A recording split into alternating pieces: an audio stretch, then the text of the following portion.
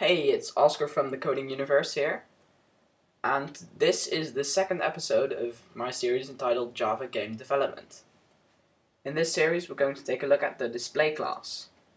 So let's head over to Eclipse and create a new class.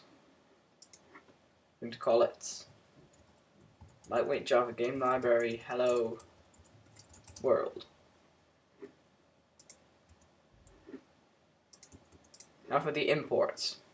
We're going to statically import org.lightweightjavagame.library.opengl.gl11 and then just put a dot, a semicolon, uh, I mean an asterisk and then a semicolon. We're also going to import everything in org.lightweightjavagameLibrary.opengl and in org.lightweightjava game library.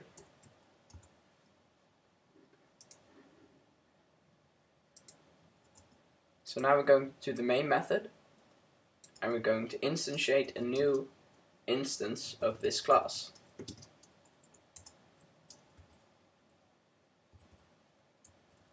So we're going to create that constructor.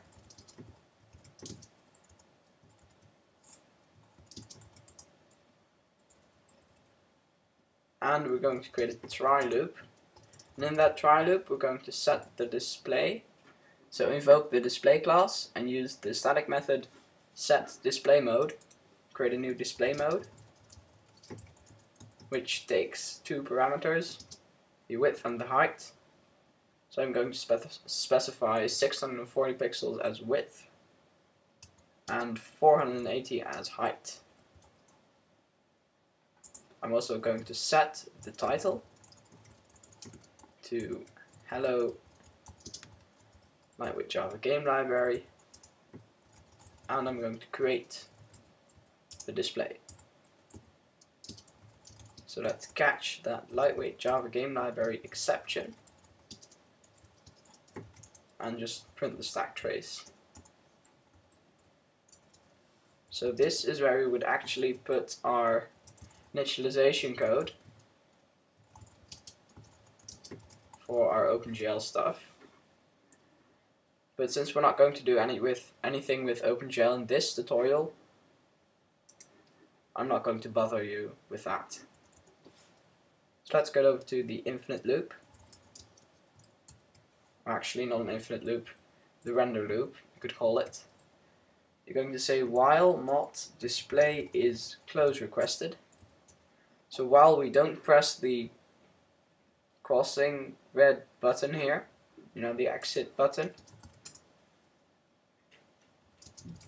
going to render, update our display, and sync our display to, this will be the frame cap, 60 frames per second.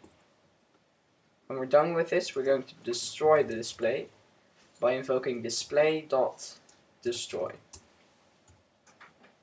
So if we run the application, have a nice window saying hello lightweight Java game library and when we click the escape key the application will close.